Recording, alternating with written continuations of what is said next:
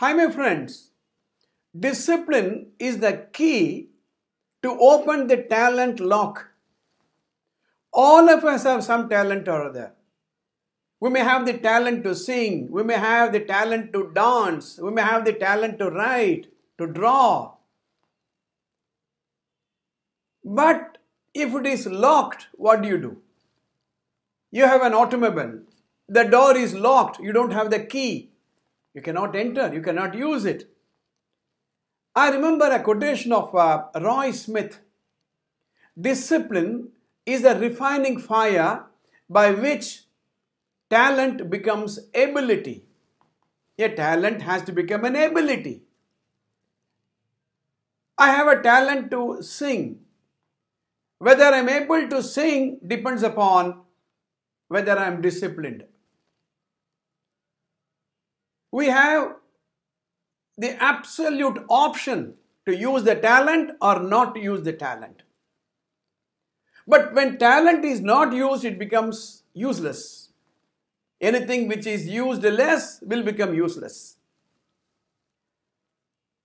You know, in electronic gadgets like mobile phone, let's say, there are a lot of apps. You can disable them or you can enable them. For example, if you have a Wi-Fi, you can disable. If you disable the Wi-Fi, you will not be able to transfer data. You may have the Bluetooth. If it is disabled, you will not be able to use Bluetooth. Similarly, indiscipline is that toggle switch.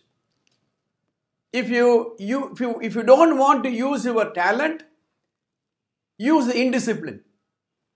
We have to learn a lot from those who have succeeded in life. Whether it is a politician, a successful doctor, a lawyer, a sports person, they are highly disciplined. We have to learn from those people who reach the Olympic level and will win gold medal.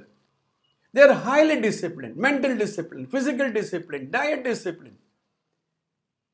There are a lot of do's and don'ts. If they don't care for those discipline, they cannot be where they are, they cannot reach where they want to be.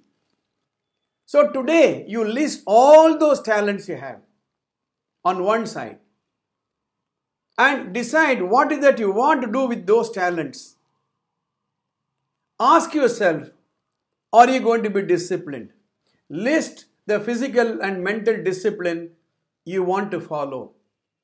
There is only one way to reach your goal using your talent as the base, which is that path of discipline. You decide whether you want to become successful or not. Discipline or indiscipline hold the key. See you tomorrow.